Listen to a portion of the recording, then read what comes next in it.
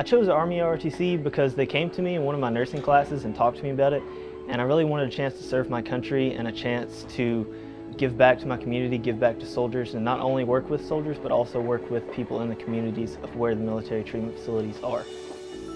I found out about NSTP through two cadets from my nursing program.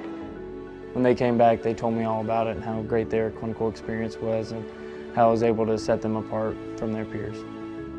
It's really a win-win situation. I'm able to serve my country as well as serve those who are serving my country. I really wanted to get a good idea of what a military nurse does and what a military hospital looks like. So I figured by coming here and doing this and seeing this at the largest military treatment facility in the DoD, would be the best experience to get.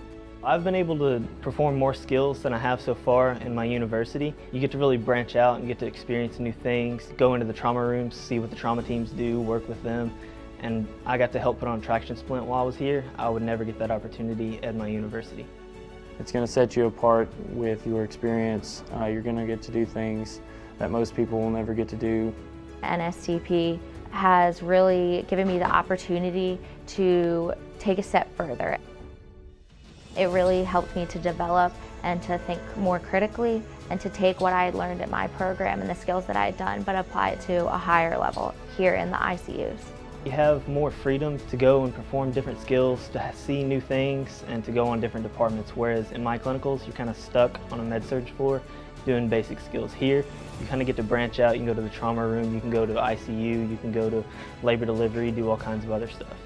You get to be a soldier first, then you also get to have a great career in nursing um, where you make a huge difference in people's lives and you're doing something that's very honorable. For anyone looking to join RTC or nursing and RTC together, I would say go for it. You just need to take that step and have faith in yourself that you can do this.